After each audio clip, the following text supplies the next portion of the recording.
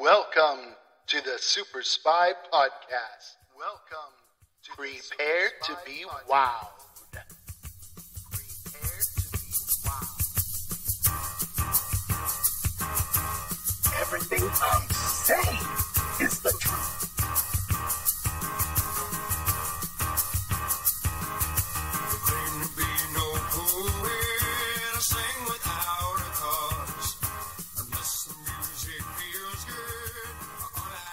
What's going on, children of the corn?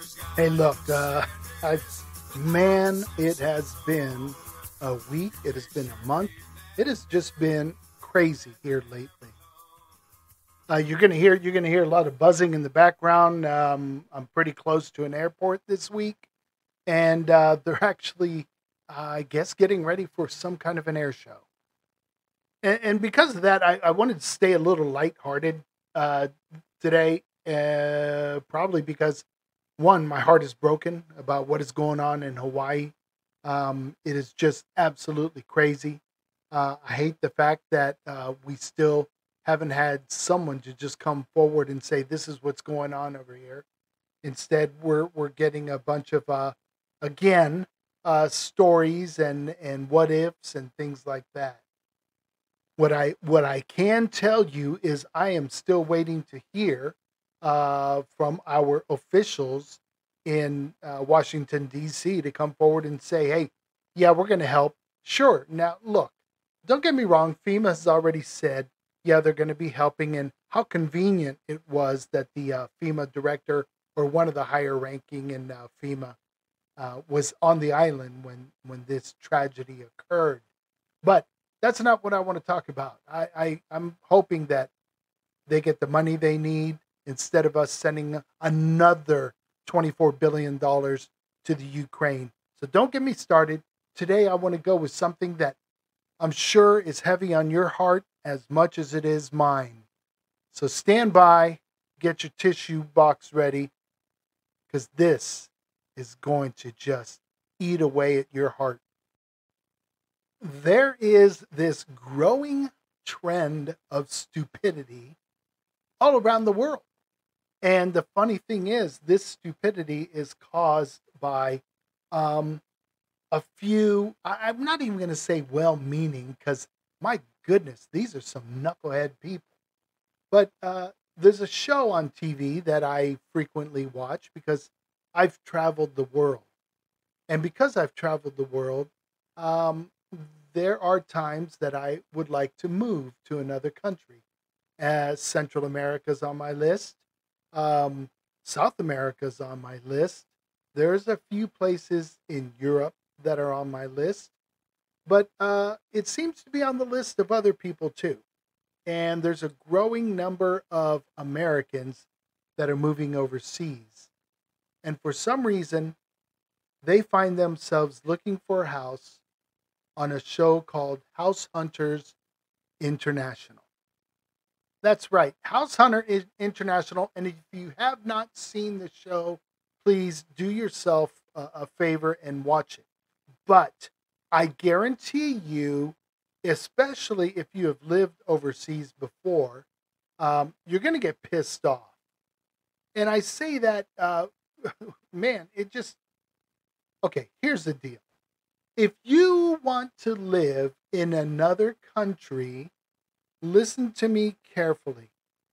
Don't expect the country to change, okay? You are the one that needs to change. If you want to move, let's say to Costa Rica, don't expect Costa Rica to start building houses to your specification. Just adopt that new community that you're moving to and enjoy it.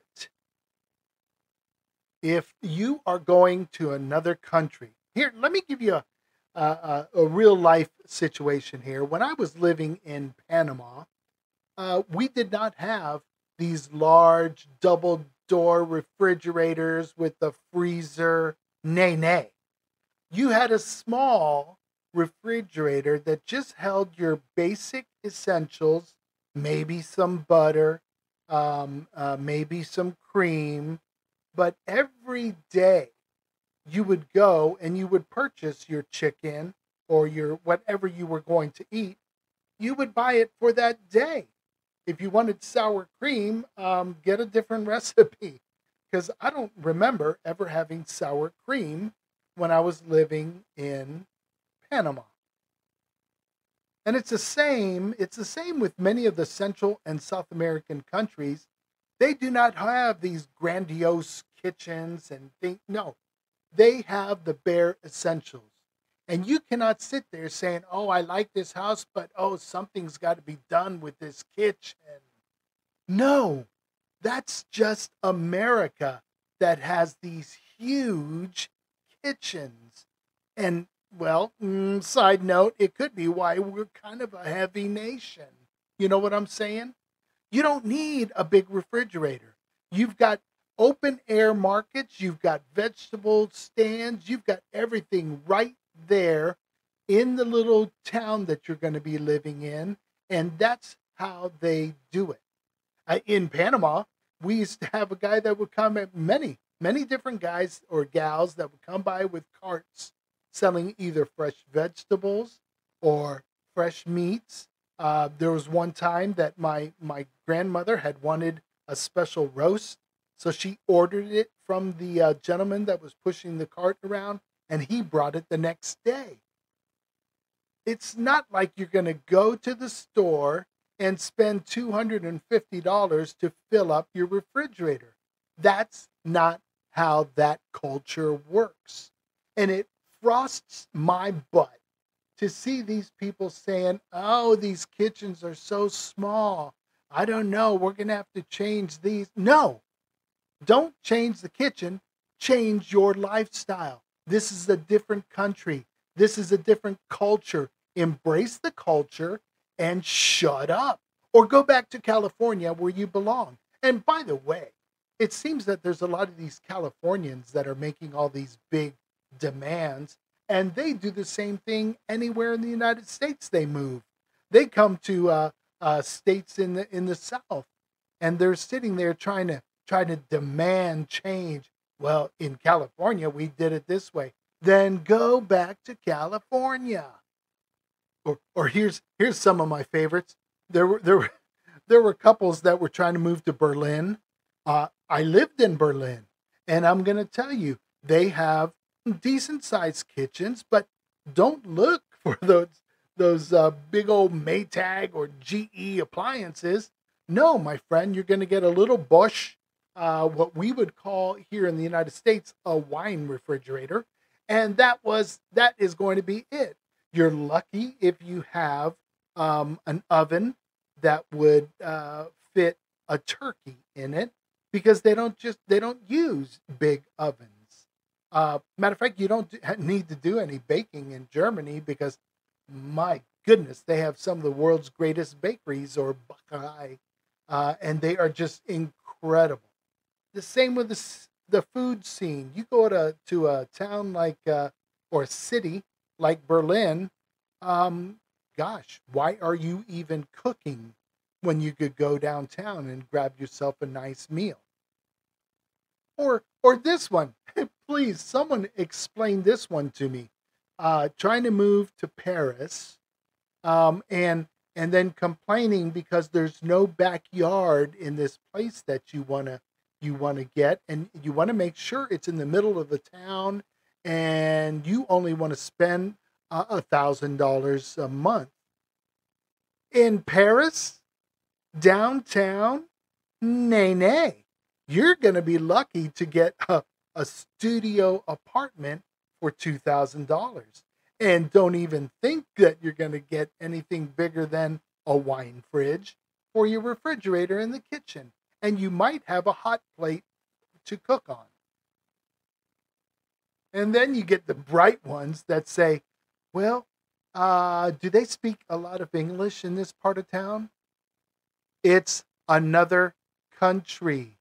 They probably do speak English since most of the countries I have lived in or studied in or worked in, uh, since most of them actually study English in school, they probably do speak English or at least understand it. But screw you. You learn the language. You get out of your comfort zone. You do something to fit in to that culture. My goodness. If you're going to live in another country, then expect to get the full experience and learn some of the language. My first three years in Germany, uh, I, I lived in Bavaria in a little town called Bamberg, B A M B E R G. And it was a great place. And it was there that I started to learn a little bit of German. I, I got a class uh, that, that my work sponsored, uh, but that lasted a week. And what I would do is on the weekends after work, I would hop into a taxi cab and I would tell them, I want to learn German. And I would drive around town and I would learn some German with them. I had one guy, um, matter of fact, his name was Gerhardt, and he, how I had to think about that. And I just, I hit it off with him. He was a really great guy, except he wore socks and sandals, and that just, you know, come on, nerd. Anyway, he would take me to a to a park. We'd sit there, grab some food, and he would sit there and point at different things, and I would start speaking it. It was a really, really great opportunity to learn the language and study the culture. And later on in, in, in my life, uh, I moved to Berlin and actually enrolled into a German class uh, with the uh, University of Maryland. Uh, yeah, they had a campus there, and it was an immersion course. So as soon as you walked in, the instructor flat out said, You will not speak anything but German in here. And that's the best way to learn. Trust me. And that, that was uh, that was a great time uh, because that was when the Berlin Wall was coming down. So there was so much going on. I was listening to German radio. I was immersed in the German language. And ich habe ein bisschen Deutsch in Berlin gelernt. Um, and it was it was absolutely beautiful. So chill out with your demands of trying to change a culture because you can't deal with oh the busy life in Chicago or oh my gosh I want to get away from New York. Oh, but I don't want to live in this apartment. It, it's it's not like the one in New York. No, you dork. You're in the middle of Jakarta now. You know, go play with your your your snakes in the backyard and shut up. But seriously, if you want to see a bunch of morons, and now there's a few of them that will go there and they'll sit there and say, "Well, these are concessions we need to make if we're going to be living in a foreign country." Yeah, that's what I'm talking about. That's the way to approach it. You are in someone else's country. If you want to live there, then enjoy it like a native. You know what I'm saying? Enjoy it like a native. And I think that one of the best things you can do before you even think about moving uh, to a foreign country, go visit and visit for an extended period of time. Make sure you check all the visa requirements uh, because there is a difference between visiting and living, uh, and and there are requirements you have to meet. Uh, thankfully, there are some countries that won't let you live in their country until you uh, satisfy requirements of learning the language. Yeah, surprise, huh? Some countries are not taking any new um, citizens. Uh, one of them is Switzerland. Uh, it takes a, it's a, like a 15 years uh, to get a Swiss citizenship if they allow you. And and there's other countries too that well they're they're a little bit picky, and rightfully so. It's their country, so go visit for an extended period of time. See if you can't pick up on some of the language, and you will be surprised by trying to speak the language of that country. Um, you're going to make an impression, and people will be you will see that they will be a little bit more accommodating and they will help you a heck of a lot more.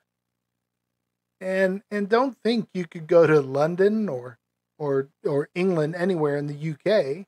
Uh, don't go to Scotland. Don't go to Ireland and think, oh, they speak English. Uh, yeah, they do, but we don't. In America, we don't know what it means to uh, when you bend the boot. You know, you, you don't you don't know these terms. You have to learn a whole new type of English. English. I got to learn how to talk today. I really got ups- look. I really got upset about this because when I saw this one family telling the the realtor, they said, "I- I- "We need a pool. That's all there is to it. We need a pool." And the lady is showing them a house that was a five minute walk from the Pacific Ocean. I'm thinking to myself, what a bunch of morons. No one else in the neighborhood, no one else in that part of that country had a swimming pool. So you're not gonna find one. Finally, they ended up going to a um, a resort uh, type condo area where they had this giant, you know, shared pool. Well, that's what you're gonna get. That's what you're gonna get if you demand niceties uh, that are only Western niceties. Enjoy the culture that you are moving to. Trust me, after a few years, it will become second nature. So, a big thank you to the, uh, the people at House Hunters International. It is uh, it, it is just refreshing to see that the uh, the knuckleheads living here in the United States are leaving, but it's a shame that they're going to some of my favorite countries because oh my gosh, that's maybe that's maybe that's why we have to uh, uh, we have to pay to travel into Europe now, and uh, they're bringing back uh, visas that we have to we have to have a visa to enter to Europe. It's probably because they got fed up with all the morons that were showing up trying to buy a house. Y'all have a good week. Pray for the people in Hawaii. Don't listen to any of the uh, uh, of the weird stories, guys. Just wait for the truth to come out, because if you notice throughout the news, uh, the, the news coverage, the truth is slow, slowly coming out about just about every situation that we've been looking at here lately. Hey, rock stars, if you have not picked up your copy of Life and Times of Biff Baxter, what are you waiting for? Head to Amazon or Barnes & Noble and pick up your copy now. And if you're one of those fancy guys with a Kindle or any other kind of those they are available digitally. Your entertainment and enlightenment. Get your copy and get it now.